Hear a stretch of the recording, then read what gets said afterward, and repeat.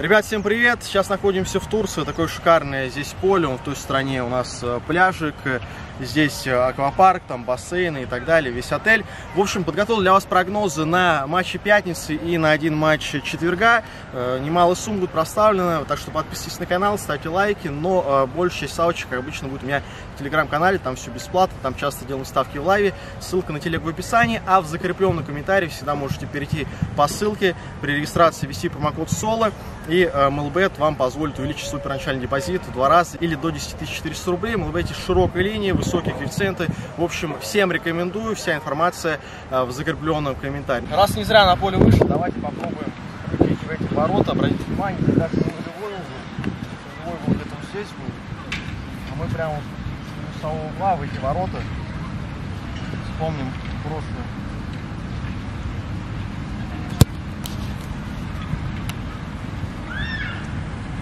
Ласу, ребят. Так, ребят, давайте начнем с матча РПЛ пятницы. Краснодар играет против э, Химок. Э, Краснодар не играл матч с Ротором. Соответственно, команда имела больше времени, чтобы подготовиться к этому поединку. Э, Химки же, в свою очередь, помимо матча чемпионата, где они уступили 3-1 Уралу, они еще играли матч Кубка России. 1-0 переиграли Зенит Иркутск, выступали резервом, но все равно победили. Три поражения в пяти матчах у Химок. Конечно, это аутсайдер турнира. Краснодар та команда, которая умеет играть против закрытых команд, а Химки, естественно, будут играть закрытый футбол. Краснодар э, э, очень здорово играет позиционно, поэтому я не сомневаюсь в победе хозяев. И у меня здесь две ставки. Первая P1 плюс тотал минус 4,5 за коэффициент 1,65, 2900 рублей я ставлю. И также я заметил такую тенденцию, то, что Краснодар очень часто забивает именно во вторых таймах. Например, матч против Ростова ЦСКА 1-1 они сыграли, свои голы в вторых таймах забивали. Ну а Химки, напротив, та команда, которая в первом тайме очень часто дает бой э, соперникам, а на второй тайм не всегда физически команду хватает. Плюс в последних играх у них был более плотный график. Так что я думаю, что во втором тайме Краснодар дожмет э, гостей.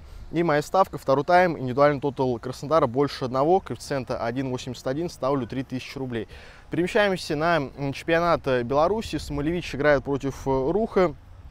Самольвичи, я уже не раз говорил, это слабейшая команда э, чемпионата. Там играют сейчас полсостава э, футболисты там, 20-летние из Динамо Минска, которые до этого никогда в чемпионате Беларуси не играли. Поэтому 5 поражений у них подряд. 5-2 уступили Батэ, 4-1 энергетику БГУ, 0-3 уступили даже Белшине, тоже аутсайдеру чемпионата. Рух это также новичок э, чемпионата Беларуси, но команда довольно неплохая, хоть и молодая очень неплохо комбинирует, довольно много забивает и вообще показывает довольно интересный футбол для этого турнира. Три победы в пяти последних матчах у Руха и э, 2-3 они уступили, правда, в прошлом туре э, Неману, одному из лидеров турнира. 1-3 обыграли на выезде Городею, обыгра... 0-1 победили Минск и 3-3 сыграли с Белазом и э, Славией.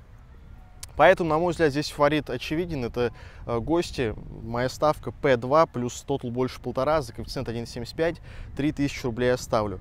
Э, Неман играет против Минска. Э, здесь я думаю, что Неман, команда, которая борется сейчас даже за чемпионство, на третьем месте не находится, конечно, является фаворитом этого поединка. Минск выглядит не лучшим образом, хоть и в последних поединках они наконец-таки там одержат победу. 3-0 обыграли Городею и 4-3 как раз Неман они обыграли, играя у себя дома. Но все равно Минск это одна из самых пропускающих команд чемпионата.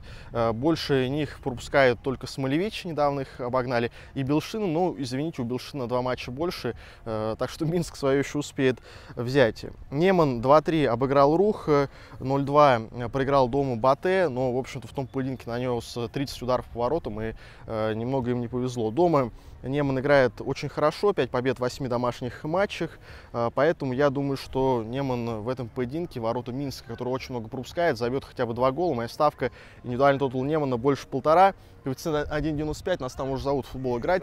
2800 э, рублей я ставлю. Леон играет против Нима в этот же день.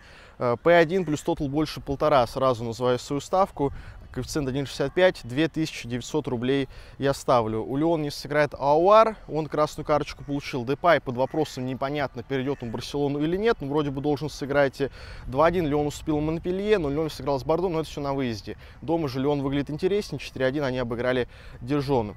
Ним же, в свою очередь, начал тоже с победы. Дома обыграл 4-0 Брест, но после этого два поражения, 2-1 уступили Нанту и 2-4 Рену. Пропускает довольно много. В личных встречах три победы подряд Леон одержит и забивает два и более голов. Э, поэтому такой прогноз. Э, и Бавария-Шальки, наверное, ключевой поединок пятницы. Бундеслига возвращается. Э, Шальки наверное, шокированы были своим выступлением в прошлом сезоне, и должны они быстрее забыть э, тот сезон, потому что уступали безобразно, всем подряд проигрывали, ну, в общем, просто ужас. Но этот сезон начинается с матча против Баварии. Бавария, они, естественно, всегда проигрывают уже на протяжении 8 матчей подряд. Бавария выиграла Лигу чемпионов, показывает шикарный футбол. Я думаю, что их тонус физических кондиций сейчас тоже лучше, потому что в Еврокубках играли, а у Шальки ну, долгий период уже без игровой практики был. Поэтому, конечно, Бавария дома дома на Альянс Арене должна взять свое. И я, в общем-то, уверен, что Бавария, как всегда, начнет активно первый тайм. В первом тайме уже забьет и э, будет вести к перерыву. В общем-то, стандартная моя ставка на матче Баварии, которую я часто беру. Первый тайм, победа Баварии, плюс тотал меньше 3,5, коэффициент 1,68, ставлю 2800 рублей. Эта ставка э, проходит в 8 личных встречах подряд друг с другом. И последний матч в этом видео, это матч четверга. Марсель играет против Сент-Этьена. Марсель э, начал не здорово, 2-3 еле-еле обыграли Брест. Брест там имел э, территориальное преимущество, много ударов, моментов. Немного Марселю повезло. Э, у них был коронавирус месяц назад у многих футболистов, поэтому команда может пока что еще не в оптимальных кондициях.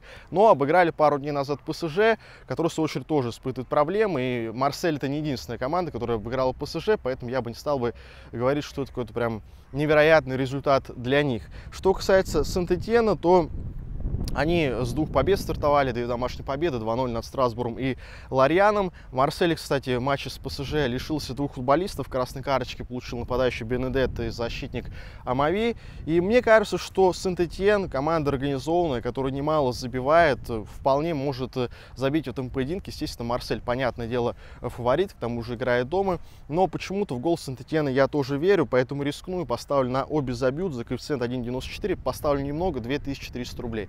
На этом все, друзья. Подписывайтесь на канал, ставьте лайки, жмите на колокольчик, переходите в Телеграм с дополнительными бесплатными прогнозами по ссылке в описании. Всем вам желаю больших успехов. Увидимся в следующих видео.